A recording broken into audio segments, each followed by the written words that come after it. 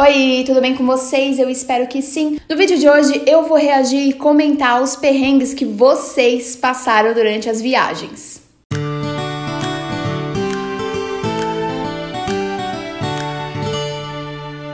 Antes de começar a reagir e comentar todos esses perrengues que vocês me enviaram lá no Instagram, eu gostaria de falar que esse vídeo é patrocinado pelo Cambly, uma plataforma online para você aprender inglês. Eu já uso o Cambly há pelo menos um ano e meio e ele me ajuda muito a melhorar minha conversação. Você pode usar o Cambly mesmo se você tenha um nível básico no inglês, porque ele tem um chat super inteligente onde o professor escreve as palavras em inglês e você recebe elas em português, o que facilita muito essa troca que você vai ter com o professor de qualquer lugar do mundo. Eles ficam disponíveis no site 24 horas por dia, 7 dias na semana e você pode testar usar o Cambly e conversar durante 10 minutos de graça usando o meu link que tá aqui na descrição e também o meu código. Espero que vocês gostem dessa dica, porque saber inglês evita um bocado de perrengues e a gente vai ver muita coisa durante esse vídeo. Vocês enviaram muitas coisas, sério, eu acho que teve mais de pelo menos 400 histórias, então a menos que esse vídeo tivesse 3 horas ou até 4 horas, eu não conseguiria né, ler todas, então eu escolhi algumas. Confesso que não consegui nem ler todas elas, mas se vocês gostarem desse vídeo, já deixa o seu like e aí me pede aqui nos comentários que eu posso fazer parte 2, parte 3, porque tem muita história e eu vou continuar lendo ela nos próximos dias. O primeiro caso é da Sheila Caramelo. Sheila mandou assim e eu fiquei chocada. Logo após o atentado no aeroporto de Bruxelas, eu fui para lá e falando ao telefone na escada rolante, eu me distraí e larguei a mala. A mala saiu rolando e caiu até encontrar um vidro e bum, um maior estouro. Susto e todo mundo veio me perguntar né, o que estava acontecendo. Até eu me explicar que foi sem querer, demorou muito. Então vocês imaginam como é que já não estava aquela tensão naquela cidade, né? Tinham acabado de sofrer um atentado. Eu imagino a polícia na rua o tempo inteiro, toda a segurança dobrada, multiplicada ali durante aqueles dias, e ela vai lá, deixa a mala cair, quebra um vidro. Imagina o estouro, mana do céu. Essa história é da Ju RC Brito. Fui eu e mais três amigas para Islândia. Meu sonho é conhecer a Islândia. A gente achou que seria de boa alugar um sedã. Menina, eu que nunca fui pra Islândia, já sei que com sedã é só perrengue. Lá é 4x4, porque as ruas são tenebrosas. Até para economizar uma grana, né? Uhum, sei. Ouvimos muito que era para alugar um Jeep ou um 4x4, tá vendo? Mas a gente achou que não ia acontecer nada. Até que chegamos em uma bifurcação e não sabíamos para onde ir, então fomos para a direita. Menina, pra quê? Cada abismo, cada pedra gigante na estrada e sem sinal nenhum no celular. Achamos que íamos morrer, mas esse dia também virou meu favorito porque rimos demais. Perrengue tem disso, né? A gente pode ser o pior dia da nossa vida depois contando essa história é o melhor, melhor momento, maravilhoso. Mariana Tempesta, ela falou: cinco voos cancelados. No fim, precisei de um ônibus, um voo e um trem para chegar em casa, 42 horas depois. A volta da viagem é sempre a parte pior, né? E é tão legal. Se, tipo, rola um, um atrasinho até no começo, até vai, meu, ainda tem vários dias. Agora na volta você já tá cansada, tudo que você quer chegar em casa. Eu te entendo. Agora, ouve essa da Tayane Underline Dias. Eu fui morar em outra cidade, né? Aí eu nunca tinha passado pela rodoviária da cidade porque eu sempre ia com essas caronas. Então, eu não sabia como é que era a rodoviária. Aí um dia eu fui de busão, cheguei em uma rodoviária que tinha uma banca que se chamava Banca Alfenense. Eu queria ir para Alfenas e aí eu pensei, bom, é aqui. Desci toda toda, me informei de onde pegava o circular e fui. Ainda troquei maior ideia com as pessoas no ponto de ônibus. Entrei no circular e não estava reconhecendo nada. Aí pensei que era uma parte da cidade que eu simplesmente não conhecia. Normal. Passei na frente da Câmara Municipal, Câmara Municipal de Machado. Aí eu perguntei para a moça ao lado: "Moça, que cidade é essa aqui?" Ela: "Onde você queria estar?" E eu: "Alfenas." Então você está no lugar errado. Aí desci no circular correndo, tava sem dinheiro quase e pedi pelo amor de Deus para o táxi me levar na rodoviária em 10 minutos por 10 reais porque a moça falou que teria um, um, ônibus saindo dali a 15 minutos. Menina, que sufoco. Cheguei no guichê e nem conseguia falar, mas cheguei em Alfenas. Moral da história, eu sempre procuro as fotos das rodoviárias de onde eu vou. Sempre.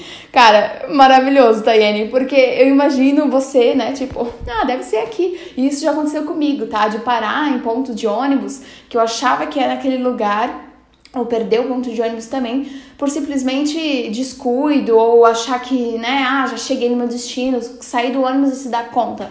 Nossa, é tenso. Agora tem uma mina aqui que passou um sufoco. a R. Glauchi. No início desse ano, meu namorado estava fazendo intercâmbio em Bruno, eu acho que é assim, na República Tcheca. Eram três meses desse estágio acadêmico. Como era uma das únicas oportunidades da gente viajar juntos pela Europa, eu fui para lá no final do estágio dele. Combinamos de ficarmos as últimas duas semanas dele na Europa viajando. Ficaríamos um dia em Praga, conhecendo a cidade, quatro dias em Amsterdã, quatro dias em Barcelona e mais cinco dias para mim em Berlim e dois para ele. Eu cheguei em Praga e a minha mala não chegou. E como o dinheiro era curtíssimo, não tinha dinheiro para comprar nada de roupas. Tínhamos 800 euros para gastar em duas pessoas e sem passagens ou hospedagens marcadas. Enfim, a minha mala nunca chegou para mim na Europa. Chegou duas semanas depois que eu já estava no Brasil. Mano do céu. Não tínhamos dinheiro para nada. Comprei somente duas calcinhas para poder revezar e duas mudas de roupa. Eu tinha a roupa do corpo e uma roupa de reserva, que era uma calça e uma camiseta de manga curta, que foi comigo na mala de mão. Ah, também achamos uma manta no chão do trem que me aqueceu toda a viagem. Era inverno lá, mas fora todo esse perrengue da mala, foi a melhor viagem da minha vida. Minhas colegas comentam: a Renata postou foto, imagina que roupa ela tá: calça jeans, casaco preto e manta cinza. Ai, mano, eu precisei rir. Eu fiquei imaginando, tipo, cara, imagina você fazer uma mala, né? Contar com aquela, aquelas peças todas que você precisa e a mala simplesmente não chegar e chegar só no Brasil depois de você já ter viajado. Tipo, que situação. Essa que eu me identifiquei. Quem mandou foi a Saila Martins. Eu estava fazendo uma viagem de ônibus entre Goiânia e Brasília e decidi ir ao banheiro. Na hora que entrei no banheiro e me posicionei para urinar, o ônibus fez uma curva enorme. A janela dele abriu e fiz xixi em mim mesma por causa do susto. Mana, isso já aconteceu comigo tantas vezes. Eu sempre espero ter uma, uma linha reta para ir no banheiro do ônibus. Porque eu sou mestre em, tipo, me desequilibrar e fazer xixi em mim mesma. Acontece, te entendo. Agora escuta a história da Naria Oliveira. Esse perrengue eu recebi vários parecidos. Indo para Disney de Paris, fui sozinha e lá encontrei duas novas amigas que fiz nessa mesma viagem. Eu acabei comprando o ticket de um metrô errado. Quando chegou na estação da Disney, que dá acesso ao parque, o ticket não passou na catraca e eu fui abordada por funcionários dizendo que eu teria que pagar 35 euros. Mas como não entendia francês e nem inglês, você pode imaginar a comunicação como foi tensa. Não sabia por que eu teria que pagar esse absurdo, só porque o meu ticket de 1,90 não passava. Moral da história, eu me recusava a pagar e nisso eles pediram meu passaporte e a única palavra que eu entendi foi polícia. Meu coração gelou e eu tive uma crise de choro incontrolável. Eles foram estúpidos, gritaram e me coagiram de uma forma que me deixou completamente sem chão. Por fim, eu paguei os 35 euros sem saber o porquê e só depois de muito tempo percebi que eu peguei, que eu paguei uma multa por comprar o ticket do metrô errado. Acabou com o meu passeio. Sinto muito, Nália, mas é muito real isso, assim. Principalmente aqui você não sabendo nenhuma das línguas, né? É muito complicado você viajar para um lugar que você não, não entende pelo menos o básico, né, do idioma, porque isso te impossibilita de nessas horas que você precisa é, se expressar. Então, pelo menos falar, putz, mas eu não sabia, e tentar conversar de uma forma que a pessoa não precise ser grosseira com você, sabe? De qualquer forma, eu acho que grosseria nunca leva a nada, mas eu acredito que de repente, se você pelo menos pudesse ter conseguido se explicar, né, as coisas teriam ficado um pouquinho mais simples. Você até de repente entenderia que pra ir pra Disney de Paris eu nunca fui, mas eu sei que uns tickets são diferentes realmente porque o trajeto é muito mais longo. Então, quando a gente sai da zona do centro das cidades, principalmente nesse lance de metrô, você precisa comprar outras zonas e aí quanto mais longe fica do lugar onde você tá, mais caro vai ficando. Então, sinto muito.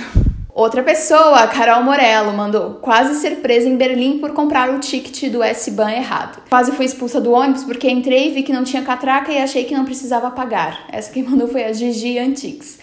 Então, assim, né? Temos um problema com transporte. Vocês querem que eu faça um vídeo sobre transporte? Cara, tinha muito perrengue relacionado a, a não ter comprado o ticket ou não ter é, validado o ticket, ter que pagar 50 euros por causa disso ou por causa de uma multa de transporte e tudo mais. A Gabi Vigan mandou: quando fui para Portugal, não achava o hostel e a bateria do celular acabou. Cara, que desespero. Tem a da Ana Fujarra, que ela mandou assim: Hostel que não tinha recepção 24 horas, cheguei na Bélgica às 4 e meia da manhã e tive que ficar esperando na rua até às 7 e meia, que era a hora da, de abrir a recepção. Isso é muito foda, tem que olhar isso na hora de você é, reservar o seu hostel. O zíper da mala quebrou no momento de despachar. Meu Deus do céu. A blog da Lira mandou um tremor no Chile e um ciclone no Uruguai. Ela passou por tudo isso. Caramba, eu já passei por um tremor no Chile também. Eu acordei com o hotel inteiro tremendo. Foi muito esquisito. Agora essa eu também me identifico. Underline B Silva B. Meu pior perrengue é não conseguir cagar durante sete dias de viagem. E quem também não consegue ir no banheiro fora de casa? Agora, houve esse perrengue da Stellings. No Canadá, eu ia nas lojas atrás de um notebook e ninguém me entendia, porque eu não sabia que em inglês é laptop. A Karen Seolin mandou: Me perdi em Malta no primeiro dia lá e eu não sabia falar quase nada em inglês. Gazílio mandou: Maior perrengue é chegar nos países, não saber o idioma e ter que se comunicar com mímica. Cara, quem nunca fez uma mímica na vida, né?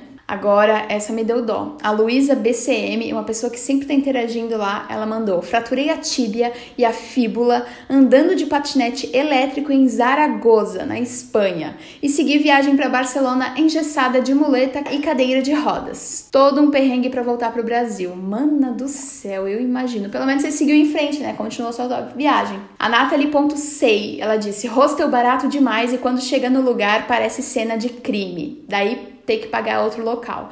Isso acontece muito. Muita gente mandou que vai pelo lugar mais barato, mas aí chega e não consegue nem se ver ali passando uma noite. Então, às vezes o barato sai caro, né? Outra, Fê Carreira, levou uma multa de 60 euros porque não validou o ticket.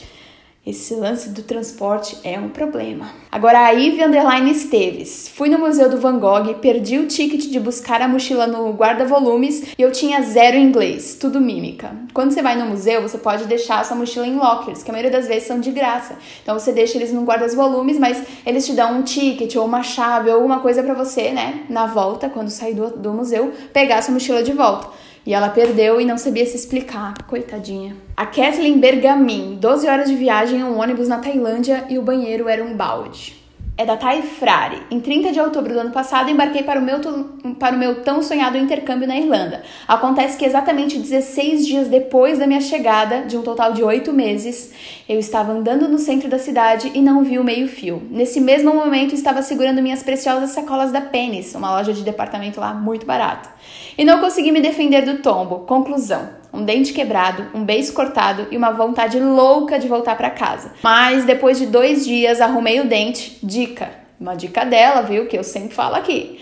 Faça um seguro de viagem sempre, sempre pode acontecer alguma coisa, algum imprevisto. E com isso, vi que sou mais forte do que imagino, resolvi meu problema sozinha, liguei pro dentista e pro, e pro seguro com menos de 18 dias de imersão no inglês. Controlei minha vontade de voltar pro colo da mamãe e vivi experiências e vivi as experiências mais maravilhosas da minha vida, tá? E achei demais a tua história, porque é muito isso mesmo, né? O intercâmbio, quando a gente tá lá fora, meio que a gente tem que se virar, tem que passar pelas coisas e provavelmente se isso tivesse acontecido em casa, né? O seu dentista tá ali, ele fala português, é a mesma língua que você, a sua mãe tá do seu lado, vai ter alguém para cuidar de você, enfim. E lá fora, por mais que a gente esteja sozinha, são essas coisas que nos dão muito, muita força, né, para continuar. Então, eu fico muito feliz também que você conseguiu ali desenrolar o inglês massa para ligar. Imagina que pressão. Eu lembro uma vez que no meu primeiro intercâmbio eu também tive que fazer uma ligação para o banco para resolver algumas coisas. Tive que ligar também para seguro viagem para resolver. E é um probleminha, porque é telemarketing, né? Digite isso para isso. E daí você não sabe se está digitando a coisa certa. E na hora de explicar como é que se explica, qual, como é que fala aquela palavra, né? E qual é o dente da frente? Como é que chama o dente da frente?